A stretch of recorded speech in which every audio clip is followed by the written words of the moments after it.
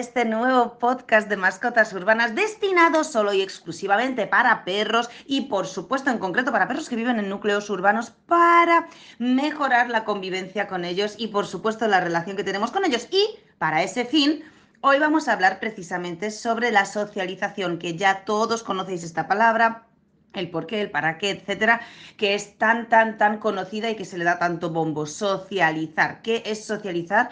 ¿Por qué es tan importante? ¿Y cómo podemos mejorar la socialización en nuestros perros? Pero antes de empezar a hablar sobre esto, he traído unos datos que he estado recopilando entre varios artículos de, de internet, pero también me he metido en el Instituto Nacional de Estadísticas, pues así un poco por si acaso, o sea, por si acaso encuentro algo interesante, que lo he encontrado y ahora os lo comparto.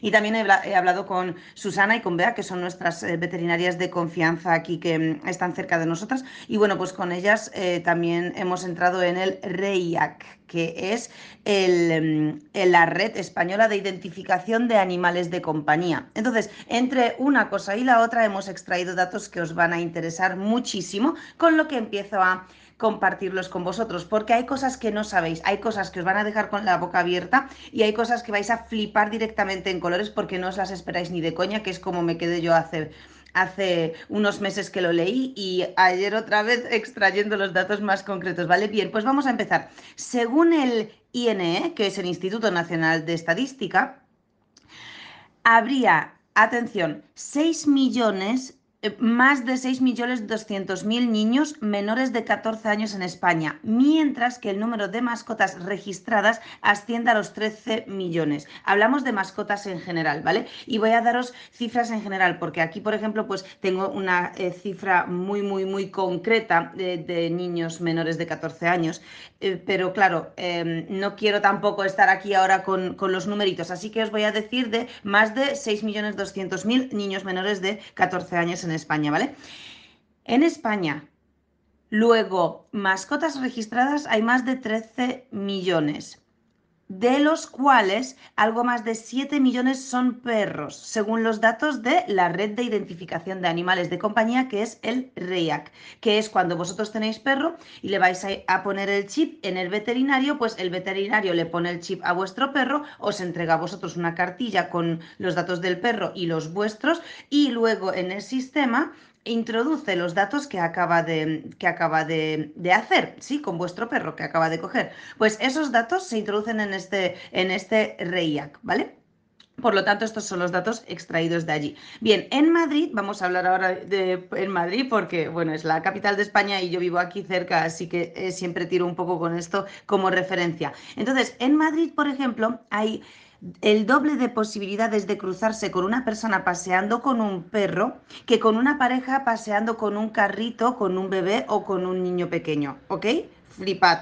Según los datos del ayuntamiento, en la capital de España habitan 282.000 canes frente a los 152.000 niños de entre 0 y 4 años. Vale, esto es una absoluta flipadísima. Es decir, Estamos diciendo que hay en, en, en Madrid 282.000 canes, o sea, más, ¿vale? Pero redondeo, 282.000 perros y hay 152.000 niños de entre 0 y 4 años. Vale, eh, estoy flipando, así que me gustaría que me compartáis en los comentarios cuánto flipáis vosotros también con esto, o no, o a lo mejor no os sorprende para nada. El caso es que cuando no suelo fijarme en estas cosas, porque no suelo fijarme demasiado en los niños, no es, eh, no es algo que me llame mucho la atención, por lo tanto, pues bueno, pues no, no me fijo. Sin embargo, cuando leí estos datos dije, es que es verdad, si me voy mañana a Madrid o las veces que estoy en Madrid, es verdad que me cruzo con, con más perros que con carritos, ¿no? De, de bebés incluido cuando voy a los parques, ¿no? Porque en un momento dado se puede entender que, vale, sí, una madre no va a pasear con su niño por eh, una calle principal y una acera, pero sí en un parque. Bueno, pues en los parques tampoco veo demasiados más niños que perros, por lo tanto, pues me llamó la atención y ha sido para mí como un shock.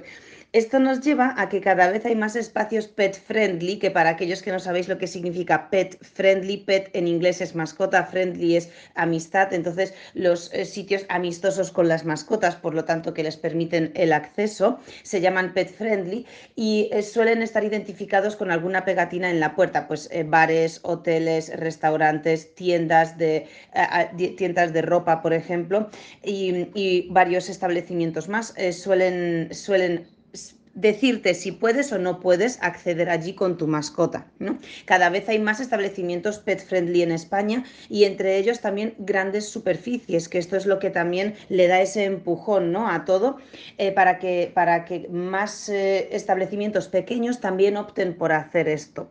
Luego, mm, em, por ejemplo, Sabéis que también, porque claro, esto, esto es interesante, porque ya que estamos comparando perros con niños, pues bien, eh, como os estoy diciendo, cada vez hay más espacios eh, pet friendly, a la vez que también hay más espacios adults only, que esto sí que sé que genera mucha polémica porque al final, bueno, yo esto lo descubrí hace unos años viendo un capítulo de Los Simpson en los que eh, de repente vino como una, yo qué sé, una amiga de, de, March, creo, de la universidad o algo así, y mm, era una empresaria o una mujer así como muy de negocios y ella no odiaba a los niños directamente. Entonces puso en Springfield como una normativa en la que todos los establecimientos tengan dividida eh, la zona para niños y para adultos a mí me pareció brillante, o sea, a mí esta idea me parece brillante, sé que es muy polémico porque, claro, es un poco raro, es como, no, no, no, es un hijo, entonces para los humanos como que los hijos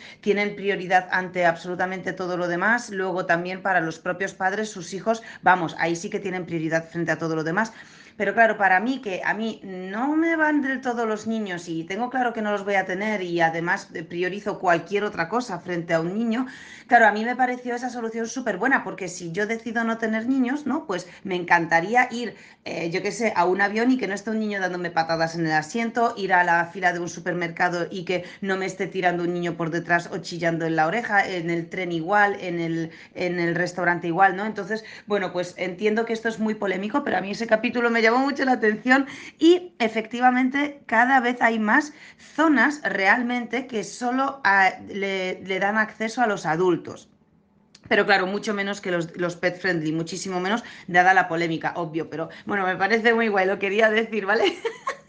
Bien, pues por este mismo motivo es tan importante que no tengamos perros por tener o por el mero hecho de que nos hagan compañía, sino que tengamos perros de forma consciente. Claramente cada vez queremos compartir más momentos con nuestros perros y este movimiento em, eh, ascendiente eh, de esta tenencia de animales nos responsabiliza al final a nosotros, más aún a preocuparnos de su educación de forma consciente. Y eh, la mayoría de la gente no lo hace porque, ay, no, es que me han regalado un perro, eh, me siento solo en casa, voy a adoptar a un perro, es que me he quedado sin trabajo y como paso muchas horas tal, voy a adoptar a un perro. Me, em, ha dado, o sea, estoy de bajón o estoy con tratamiento yo qué sé, de ansiolíticos o antidepresivos o lo que sea y me han recomendado que, tenga un perro para que me ayude a salir de ahí, ¿no? O lo que sea, me da igual. O tengo hijos y mis hijos con 4 y 5 años, pues eh, como muchos otros tantos caprichos que solicitan, solicitan un perro y caigo como madre amorosa en, en tener a un perro y luego se nos complican las cosas. Entonces, todos estos motivos que os acabo de decir por los que las personas tienen perros, las suelen tener, suelen tomar una decisión con la imagen del perro idealizada que tienen de las películas, de los anuncios, de los vídeos de YouTube, de algún vecino que tiene a un perro súper bien educado y le ven y les gusta, o simplemente pues de, em, de, un momento así como que se les ha ocurrido de forma, ¡pum!, ¿no? Eh, repentina. Pero no se plantean lo que es luego el día a día con el perro en casa, el día a día con el perro sacándole a dar paseos, el día a día dejando al perro en casa mientras trabajamos, el día a día de cruzarnos con otros perros por la calle, el día a día de que suenen timbres, ascensores o vecinos y que el perro pueda ladrar, el día a día de que mm, el perro de repente pues por X motivos, por lo que sea, sale un tanto temperamental y nos acaba dando problemas porque nos invade el espacio o nos gruñe o nos saca los dientes, incluso nos muerde, ¿no? Hay muchos problemas de comportamiento que pueden surgir porque al final los perros no razonan, no reflexionan, por lo tanto son muy impulsivos y normalmente eh, los impulsos están basados en sus instintos y se nos olvida que un perro sigue siendo eh, un animal que por muy domesticado que esté, tiene sus instintos, ¿no? Entonces, por mucho que queramos que nos hagan compañía y les amemos por encima de la mayoría de las cosas en nuestras vidas, no significa que les hayamos anulado sus instintos naturales, que ocurren, o sea, que perdón, que se despiertan y que aparecen pues en el día a día, todos los días. Siguen siendo animales, siguen siendo depredadores, siguen siendo oportunistas, siguen siendo fuertes y atléticos a nivel físico, físico muy rápidos, por cierto, siguen siendo animales que requieren de una comunicación relativamente compleja, de hecho.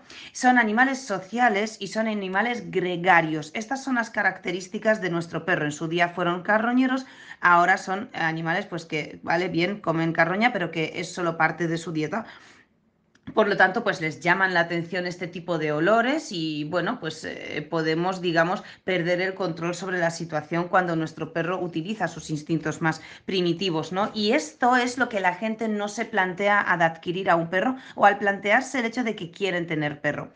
Todos estos rasgos que os, he comentado de nuestros perros, o sea, que son animales depredadores, oportunistas, atléticos y fuertes, rápidos, comunicativos, sociales, gregarios, en, en un tanto por ciento incluso carroñeros, estos rasgos pueden ser un hándicap en la convivencia y si no lo enfocamos a la educación, que como define la RAE, atención, ¿vale? Aquí voy a dármelas de lista, ¿vale? Sabéis que educación en la RAE tiene como cuatro eh, significados. Eh, uno de ellos, que es el que más me gusta para aplicar aquí en este contexto perruno, es significado, ¿vale? De educación, enseñar los buenos usos de urbanidad y cortesía. Esto está muy enfocado a los humanos, pero a mí me sirve porque yo lo puedo aplicar y derivar a los perros perfectamente, porque si os dais cuenta, pues efectivamente los perros vienen a nuestra casa y de repente se encuentran con un mundo completamente antinatural para ellos, completamente antinatural. Tanto es así que no saben lo que es un coche, no saben lo que es un semáforo, no comprenden el sonido de un semáforo, no comprenden una puerta porque se abre y se cierra, no comprenden una mesa porque se come en la mesa, ni el gas, ni las vitros, ni los microondas, ni una ducha, no comprenden el jabón, no comprenden absolutamente nada de lo que ocurre en su entorno, simplemente están allí y se adaptan. Pero ¿cuál es su forma de adaptarse? Pues su forma natural de, de, actuar. Y es cuando nosotros tenemos que entrar en acción. Es donde nosotros tenemos que utilizar la educación como una herramienta para facilitarle la adaptación a nuestro perro, a nuestras cosas urbanas de forma favorable para que vayan a favor de, eh, de, la convivencia, ¿no? Entonces, esto es lo que nadie se plantea. Pero ¿cómo se hace esto o en qué eh, consiste esto? Porque en realidad no hace falta grandes trucos de, de, circo, no hace falta que tu perro tenga una obediencia militar o una obediencia de campeonato, de estas de que el perro va clavado como un reloj tieso, como un palo y pim, pam, pim, pam. De hecho, no te hace falta nada más que un poco de sentido común y tres cosas básicas a tener en cuenta. Y esas tres cosas básicas a tener en cuenta son la socialización, la habituación y la comunicación. Si nosotros podemos cubrir estos tres pilares básicos para que nuestro perro em, sea feliz, ya le, estamos, ya le hemos educado. Bien, entonces, ¿en qué consisten estas tres cosas? ¿Vale? Vamos a hablar sobre estos eh, tres puntos, pero vamos a resumirlo bastante y, y os voy a decir simplemente para que sepáis, si, si, sabéis lo que significa, sabréis automáticamente aplicarlo, pero aún así voy a daros eh, varios ejemplos y eh, os, os, lo voy a dar un poco así como de forma teórica, ¿vale? Os la paso en la segunda parte de nuestro programa porque ahora vamos con una pucuña de publicidad para que podáis escuchar cuáles son los negocios de Miraflores que más florecen, que mejores cosas os ofrecen y dónde podéis disfrutar de vuestra vida en este pueblo tan maravilloso. Vale, atención. Mientras flipáis con toda la información que os acabo de dejar sobre perros, curiosidades sobre perros, consejos sobre perros, voy a daros un respiro para que, para que proceséis toda esa información y os quedéis con ella bien. Y el mejor regalo que nos podemos hacer a nosotros mismos es dejar de perder el tiempo todos los días en barrer los pelos de nuestros perros. Amamos a nuestros perros, estaríamos todo el día acariciándoles y en vez de estar 15 minutos al día barriendo los pelos del perro, os recomiendo que invirtáis esos 15 minutos en otra cosa mucho más productiva, que es trabajar activamente con vuestro perro todos los ejercicios que os proponemos siempre que hagáis o esas dinámicas o esos juegos que podéis hacer con vuestro perro para mejorar la comunicación con él. Y para ahorrar esos 15 minutos y no barrer, podéis compraros por Navidad el aspirador Rumba, pero no cualquier Rumba, ¿vale? Este Rumba, el J7 Plus, que tiene múltiples sensores que le permiten identificar dónde aspirar, dónde aspirar a fondo y, ojo, dónde no aspirar para nada. Eh, que ya sabéis que a veces a nuestros perros se les escapan algunas cosas de forma involuntaria o no, o de forma voluntaria, pero eh, si, lo, si hacen sus necesidades en casa de forma voluntaria porque tienen algún problema de comportamiento, mientras lo modificáis, mientras elimináis ese problema de comportamiento, podéis hacer que el aspirador lo esquive y lo deje allí y solo se encargue de aspirar los pelos. Y lo más mejor del mundo entero es que Rumba está preparado precisamente para aspirar esos pelos por lo tanto no se atasca y eh, sobre todo nos funciona súper bien en las épocas de muda. Y tiene dos cepillos de goma antienredos y atrapa el 99% de los alérgenos de perros y gatos. Y Realiza recomendaciones para aumentar la frecuencia de aspirado en épocas de esa muda tan terrorífica. Así que mientras él se ocupa de mantener tu casa limpia y ahorrarte esos 15 minutos al día, tú no tienes que hacer nada más y te puedes olvidar por completo de eso mientras, por supuesto, puedes dedicar ese tiempo a tu perro, a un tiempo de calidad, por supuesto. Y recuerda...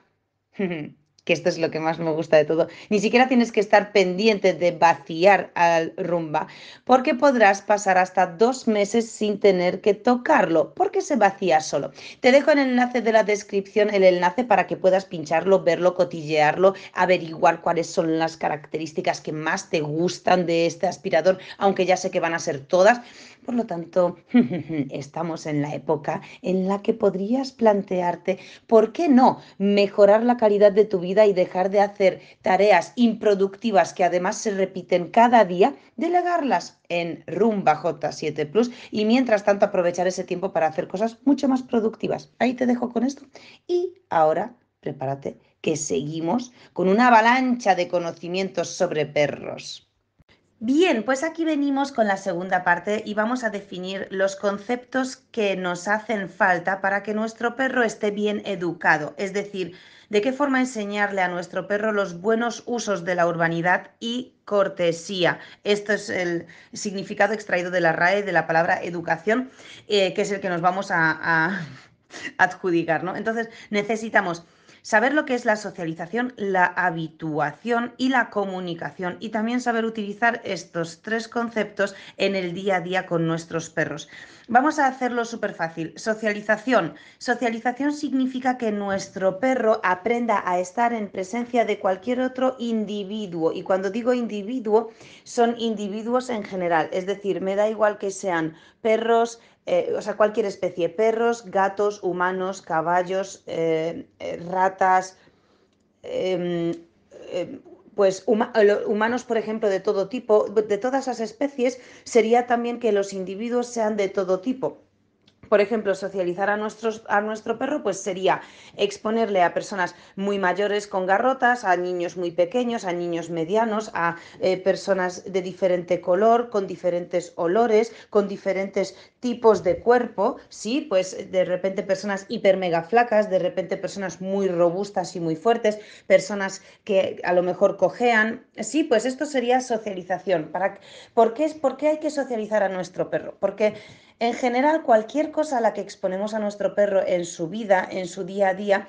si exponemos a nuestro perro a esa, a esa cosa o situación por primera vez, el perro lo va a vivir desde la sorpresa. Puede que lo viva desde la curiosidad, pero porque dentro de sus características como animal existe la exploración y la curiosidad, pero también existe eh, la guarda, la territorialidad y por supuesto la supervivencia. Y de, eso, de esas tres cualidades o características hay veces que puede salir un ataque o una huida o una inseguridad de, uy, no sé qué es esto, no me quiero acercar.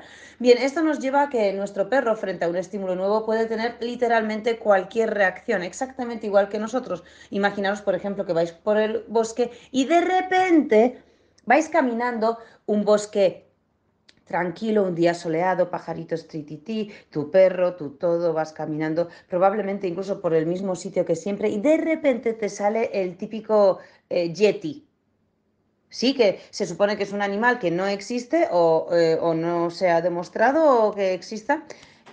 O sea, que sabemos que es como un monstruito o un monstruo grande, pero no lo hemos visto nunca y de repente nos aparece. ¿Cómo te quedas? ¿Cuál es tu reacción? Bien, pues la socialización trata de que en ese momento que está viviendo nuestro perro frente a otro animal que ve por primera, segunda o tercera vez, que tú le guíes y le digas qué hay que hacer. Porque si tú te encuentras a un yeti en el bosque, y yo te digo de repente, ¡buah! ¡Huye, corre! ¡Que nos va a matar! ¡Nos tenemos que salvar! ¡Buah! Y me pongo a chillar como una histérica. Lo normal es que se te acelere el corazón. Bueno, el corazón se te ha acelerado desde que has visto al Yeti, ¿vale? Porque, porque le ves y ya estás. ¿Qué coño es eso?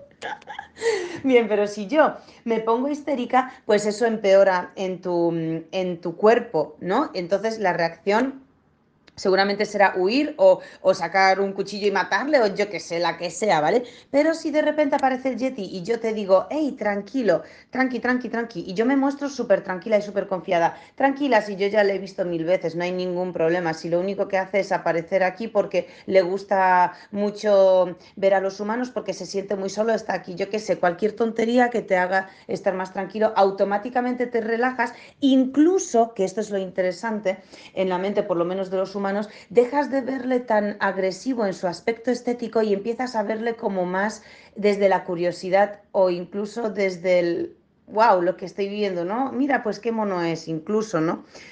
Pues esto es exactamente lo que ocurre con la socialización. Si tu perro se expone por primera vez a otro individuo, debes guiarle en esa situación, debes dirigirle hacia qué tipo de comportamientos o reacciones quieres que tenga porque, porque quieres que confíe en ti, que se sienta confiado en la situación. Esta es la socialización.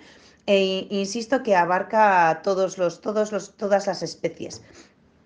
Luego está la habituación. La habituación es el segundo pilar básico para que nuestro perro esté bien educado y habituación viene de la palabra hábito y eh, es, pues como la palabra misma dice, es exponerte a una cosa las veces suficientes para que ya ni siquiera te, no te genere ningún tipo de, emoción, ni buena ni mala, ojo, ni buena ni mala. Ejemplos de, de, habituación, dentro de excepciones, ¿vale? Pero ejemplos de habituación. Pues nosotros sabemos, por ejemplo, que tú cuando eh, cuando vas a aparcar en el centro de una ciudad tienes que pagar un parquímetro. Vale, pues al principio cuando pusieron los parquímetros en los barrios nos cagábamos todos en todo 100 veces, pero con el tiempo nos, hemos habituado tanto que ahora mismo ya no nos causa ningún efecto. Otro ejemplo de habituación, nos despertamos por la mañana y nos vamos a lavar los dientes. Bien, pues es un hábito, nadie piensa que tragedia, a no ser que alguien tenga problemas los típicos de arcadas y cosas de esas, pero bueno, nadie piensa lo tragedia que es. Sí, tenemos que... Mm, tenemos que salir de casa con las llaves. Bueno, pues es otro hábito que a lo mejor hay personas que odian, pero las personas que lo tienen como hábito ni se lo plantean. Esto es eh, habituación, ¿vale? Hacer cosas que no te resultan ni bien ni mal, simplemente están, las haces porque existen y, ya está. Pues esto se, se, llama habituación, ¿no? Entonces, nosotros podemos generar hábitos, por ejemplo, pues podemos hacer cosas de repente que antes no hacíamos. ¿Y por qué? Pues porque nos hemos empeñado en generar hábitos. Pues llevamos toda la vida em, fumando, es un hábito. Pues bien, dejamos de fumar. Entonces, al principio no es fácil, pero cuando ese hábito se genera como tal, pues deja de ser difícil, ¿no? Y empieza a ser un hábito. Y así con todo, ir al gimnasio, cocinar, bueno, trata, eh, total, eso es. Eh, con los perros, ¿cómo podríamos em, trabajar la habituación? Pues podemos trabajar la habituación de eh, cualquier situación que el perro vaya a vivir. Las, las habituaciones se generan en el día a día, pues sobre todo con, por ejemplo, habituar al perro a estar solo eh, momentos de soledad y aburrimiento, que es cuando tú estás trabajando, no estás con tu perro y él eh, puede estar tranquilo. ¿Por qué? Pues porque está acostumbrado a esto. Eh, por ejemplo, generar en nuestro perro la habituación de pasar por las rejillas de la acera, todos los que vivís en ciudades y camináis todos los días con tu perro por la acera veréis que el perro siempre que hay una rejilla la rodea, ¿no? Bien, ¿por qué? Pues porque no tiene el hábito de pisarla, pero podemos generar ese hábito perfectamente. De hecho, nuestros alumnos en el programa 360 se divierten mucho con este ejercicio y también ayuda a romperle a nuestro perro eh, límites y barreras en, el, en la mente y acaban los perros de nuestros alumnos pasando, no solo pasando por todas las rejillas, sino que si te paras a hablar con otra persona cerca de una rejilla, de repente te giras y el perro está sentado encima de la rejilla, ¿no? Bien, pues esto sería también eh, habituar al perro. También podemos habituar al perro a subir y bajar ascensores para que le resulte normal, entrar y bajar de un coche o estar dentro de un coche, que no le genere directamente ningún tipo de reacción estar dentro de un coche, ni buena ni mala. ¿sí? Eh, las reacciones frente a los petardos, Em, fuegos artificiales en general, que el perro se habitúe tanto como para que no le genere ningún tipo de, sensación. También podemos trabajar esto con tormentas, em, olas de mar, eh, gritos de bebé. Eh, también podemos generar este tipo de em, hábito con el sonido del timbre, por ejemplo, que para el perro ya no le suponga nada. porque el sonido del timbre al perro le supone eh, una reacción alterada de ladrar en general, ¿no? ¿Por qué? Pues porque estamos haciendo lo contrario a la habituación. El timbre de repente, el perro está siempre en casa solo, siempre tiene una rutina de que eh, X horas al día no ocurre nada y la rutina es tal que así, ¿no? Y de repente, cada vez que suena este sonido, no solo aparece una persona nueva y rompe con la rutina, sino que nosotros mismos, los humanos que estamos con el perro, nos alteramos a nivel emocional. ¿Por qué? Pues porque nos emocionamos, porque hay una visita, porque viene el paquete de, un repartidor que hemos comprado y, que, que, nos apetece mucho recibir, eh, ¿no? Entonces, de cualquier forma, el timbre es una señal a que algo muy excitante y emocionante va a ocurrir. Claro, lógico que si le estamos enseñando esto a nuestro perro, no podemos luego exigirle a nuestro perro que esté tranquilo cuando suena el timbre. No, pues tendríamos que hacer algo para que el sonido del timbre se vuelva un hábito. Tendríamos que poner el sonido del timbre un montón de veces al día sin que nada ocurra para que el perro se habitúe, ¿vale?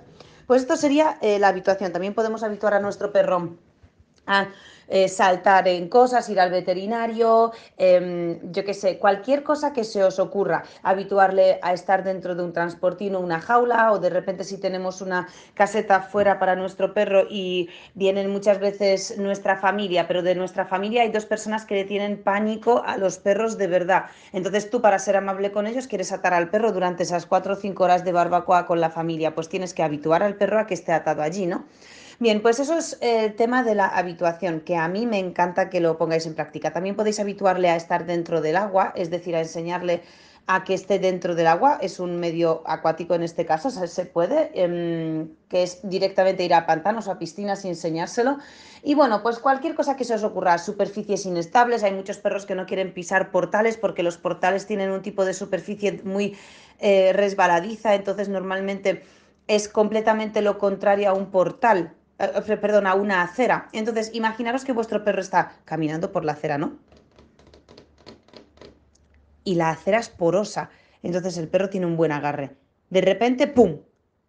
Giráis a un portal, abrís la puerta y el perro con la misma sensación de propiocepción que está en la acera con la superficie porosa, entra con la misma seguridad y la misma colocación de las patas a la superficie del azulejo del portal. Y al hacerlo, se le abren las patas un poco, por ejemplo, en los cuartos traseros, ¿no? Y de repente se le abren eh, demasiado y se hace daño en la ingle. Claro, lógico lógico que el perro a partir de allí no quiera volver a entrar en ese portal, pero si no lo trabajas a tiempo, no va a querer entrar a ningún portal porque va a generalizar eso. Bueno, ¿sabes lo que es perrunología? Es un canal privado de Telegram que acabamos de abrir ahora mismo. Vamos a compartir dos piezas de contenido semanales verificadas por profesionales súper prácticas y útiles para que mejores la relación con tu perro y no tengas que liarte a buscar artículos en Google para ver que cada uno se contradice con la información que te ofrecen. Aquí va a ser todo verificado por profesionales y de verdad que puedes mejorar la relación con tu perro. Te dejo el enlace en la descripción para que te enteres de todos los detalles. Por eso es tan importante que trabajéis, eh, trabajéis la habituación y cuando veis que el perro vuestro en alguna situación tiene una reacción un poco mm, que no os gusta, trabajad una reacción que sí queréis que tenga y que sí queréis que os guste en ese mismo momento y luego repetirlo. ¿Vale? Bien, pues esto sería la habituación. Y luego tenemos el tercer pilar, que ya hemos hablado de la socialización, de la habituación. Ahora vamos con la comunicación.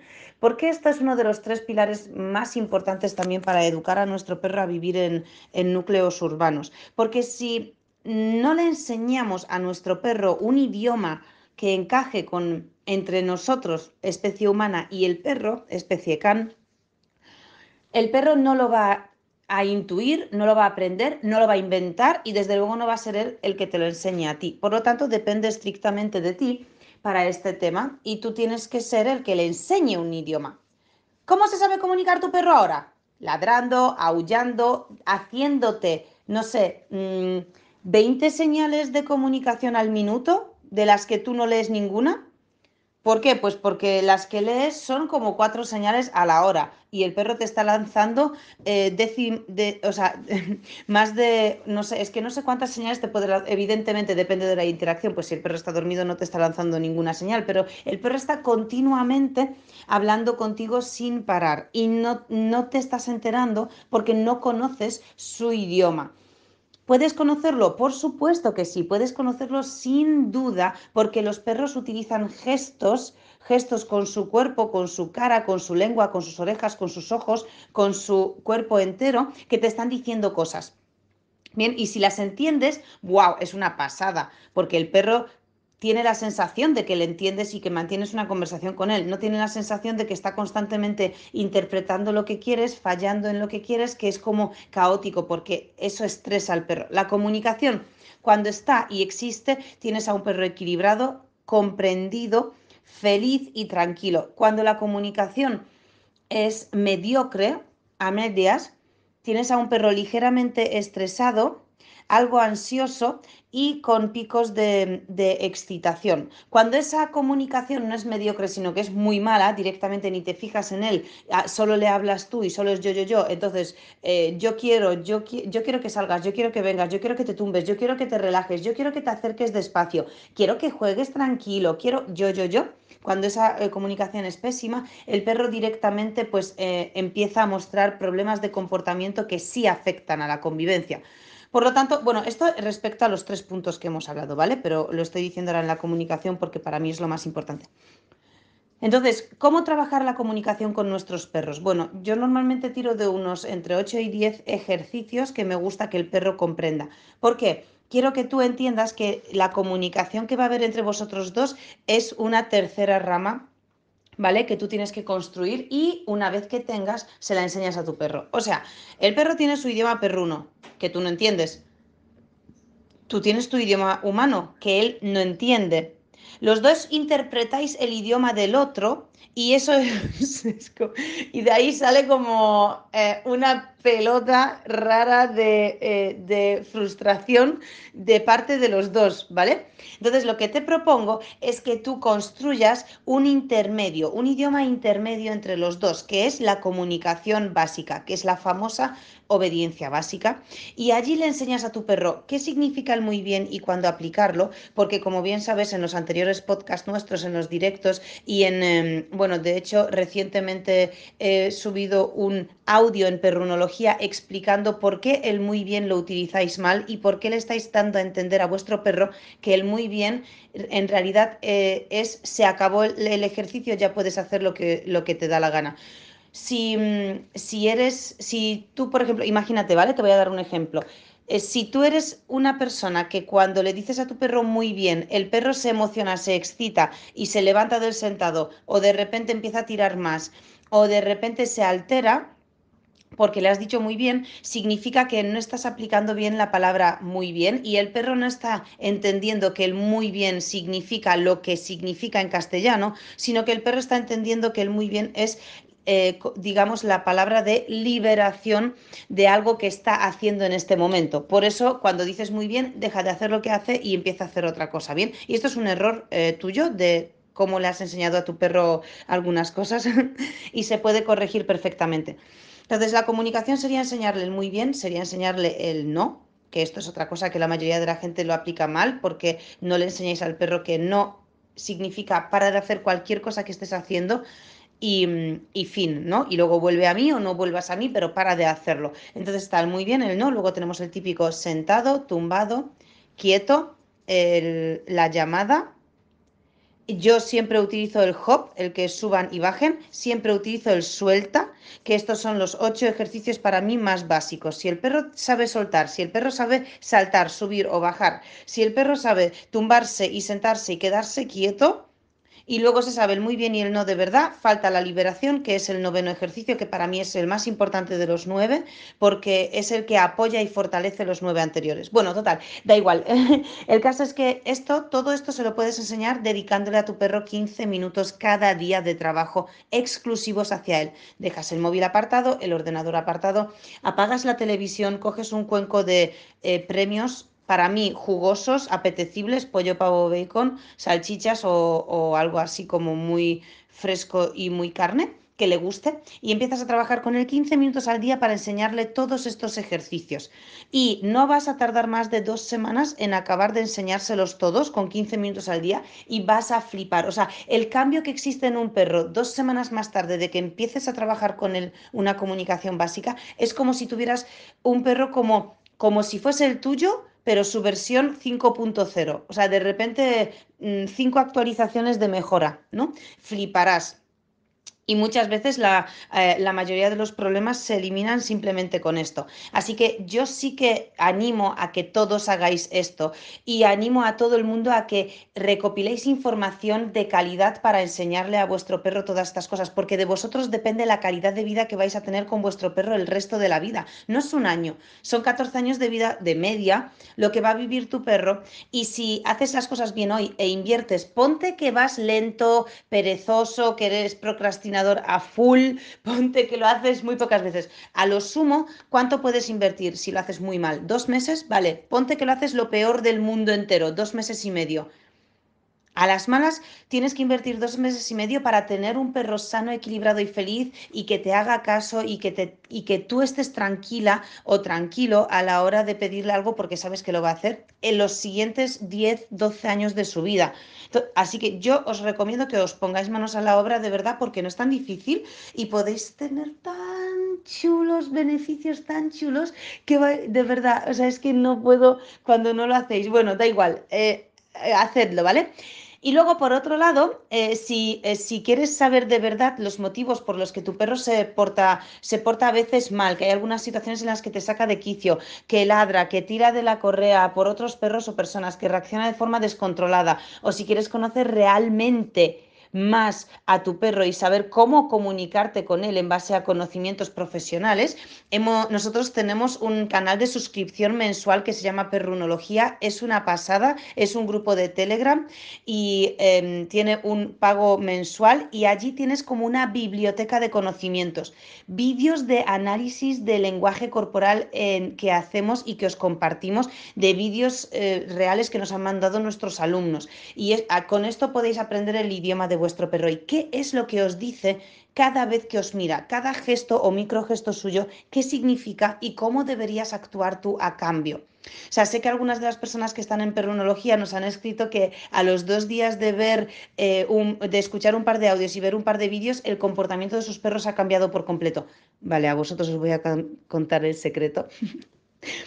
en realidad son ellos los que han cambiado y el perro ha cambiado a consecuencia. No es que su perro haya cambiado, ¿sabes? Por completo, pero bueno, está bien, está bien. ¿Por qué? Porque el, tu perro se comporta como se comporta porque tú le haces comportarse así.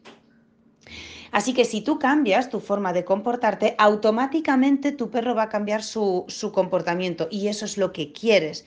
Así que eh, en perrunología tienes vídeos de análisis de comportamiento sobre casos reales que, que nos mandan nuestros alumnos, audios con pautas concretas para que comprendas cómo funciona la mente de tu perro. Pues entre otros, el otro día mandamos un audio sobre cómo hacer que dos perros se saluden de forma tranquila y equilibrada, que esto es muy importante. La mayoría de la gente hace que los perros se saluden de una forma que acaba provocando un conflicto. Sin embargo, pues os he mandado un audio allí explícito explicando durante 20 minutos cuál es la forma ideal de presentar a dos perros. Claro, la gente lo pone en práctica y flipan en colores, ¿no? Entonces me encantaría que también puedas disponer de, eso. También mando ejercicios y retos para que pongas en práctica todas las lecciones aprendidas y mejores la, la relación con tu perro. Y bueno, pues también mandamos, por supuesto, artículos y documentación eh, verificada por profesionales, pero explicada para, eh, para personas que no son profesionales, porque a mí me interesa que todo lo que comparto contigo lo entiendas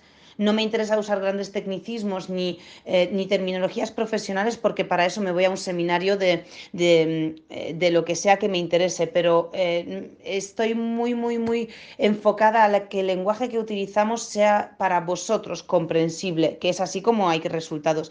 Y luego... Em, y luego también, bueno, todo esto lo compartimos dos veces por semana, para que todas las semanas tengas tus dos piezas de contenido y puedas, y puedas aplicarlo todo. Así que bueno, eh, no, quiero que, no quiero que te sientas perdido cuando entres no quiero, eh, por eso tenemos como un índice también súper chulo que hemos diseñado específicamente para, para todos los que están en perrunología. Pinchas el índice, que es una página en la que aparecen por categorías todos los temas que hemos tocado y que hemos ido desarrollando y tú puedes pinchar directamente e ir a la publicación concreta que te interesa desde el propio índice. Esto me encanta porque lo diseñamos además hace dos semanas y el índice ha quedado precioso, muy intuitivo sobre todo. Bien, quiero que sepas lo último, que tener perro no es de verdad no es tan fácil como nos lo pintaban en las películas de Disney, pero tampoco es tan difícil como lo que estás viviendo ahora, esa frustración o ese sentimiento de Dios, es que ya no puedo más, ¿no? A veces, ¿por qué te portas tan bien en casa, eres un angelito y luego, y luego en este momento eh, estás descontrolado, ¿no? Pues no quiero que pienses que... Em, que es ni tan fácil ni tan difícil. Bien, sé que solo necesitas ayuda profesional para acabar con estos problemas que tienes, así que te espero en Perrunología. Te dejo el enlace debajo de este podcast. Muchísimas gracias por escucharnos y nos vemos en el programa siguiente.